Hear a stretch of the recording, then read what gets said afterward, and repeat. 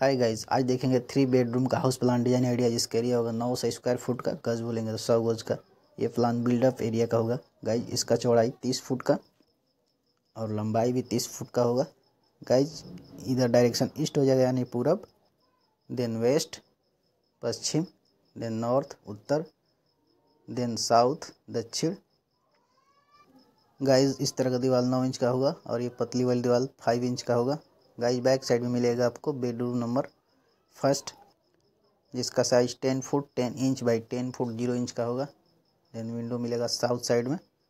Then guys bedroom से attach toilet bath six foot by three foot seven inch का होगा। Then bedroom first का door then guys back side में ही मिलेगा आपको bedroom number second ten foot ten inch by ten foot zero inch का।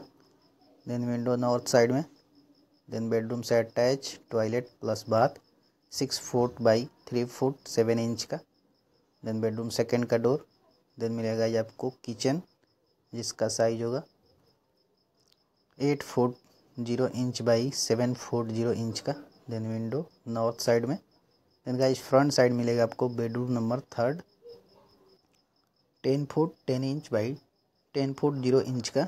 Then window मिलेगा आपको नॉर्थ साइड देन एक विंडो ईस्ट साइड फ्रंट में देन बेडरूम थर्ड का डोर देन गाइज़ मिलेगा आपको common toilet bath seven foot six inch by five foot zero inch का then ventilation front side east में then door then मिलेगा आपको lobby बीच में देन मिलेगा गाइज़ आपको store room seven foot six inch by four foot six inch का then door then यहाँ पे डोर मिलेगा एक।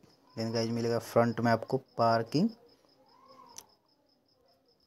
nine foot four inch into thirteen foot seven inch का देन इसी में मिलेगा आपको स्टेयर देन यहाँ पे मिलेगा आपको main gate then guys front में मिलेगा आपको गार्डन एरिया गाइज़ इस प्लान के हिसाब से कंस्ट्रक्शन कराने पे आपको इलेवन लाख रुपये का कॉस्ट आएगा। Thanks for watching this video